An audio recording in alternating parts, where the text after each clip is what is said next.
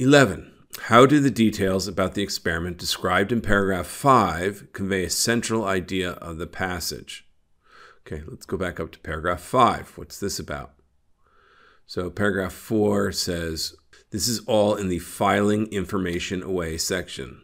So, paragraph 4 was uh, the internet modifies the strategies people use to store information. Okay, and then uh, we have several studies about how people manage their information intake. Okay, so that leads into paragraph five. To begin, this is probably the first example of managing information intake. To begin, research examined another study how people evaluate which information deserves their, their memory.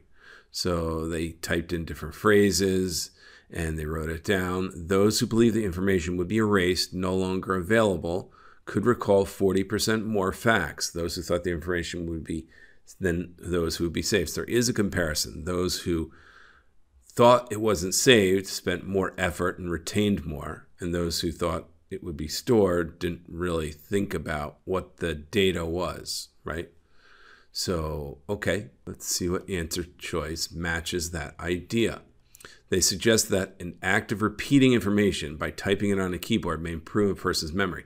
No, that was not exactly it. Not necessarily by typing it on a keyboard. It didn't say that in the paragraph. B, they explain that a person will forget information faster if the information is considered unimportant. Okay, I don't think it was about importance versus unimportance, so we'll come back to that. They indicate that a person may start to forget details when the amount of information becomes overwhelming. No, overwhelming. Who said overwhelming in that paragraph? I don't think that's actually in there. So these ideas, they seem interesting. They seem compelling. I could see students jumping at BRC, but I don't think it really said the information was important versus unimportant.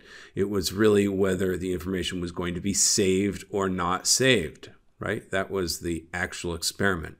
So D, they suggest that the memory is affected by whether a person expects to have access to information in the future. Yes, whether it's saved, whether they have access to it or not. That's what the effect was. If they thought they were going to lose it, they spent time and 40% more could memorize it. Those who thought they always had access to it didn't spend the time to memorize it.